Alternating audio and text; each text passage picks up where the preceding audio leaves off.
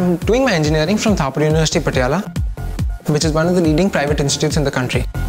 There, I hope that at the end of my degree, I'll be able to get into the automobile sector, where I will be involved in probably the research and development scene, where I can hope to get some experience.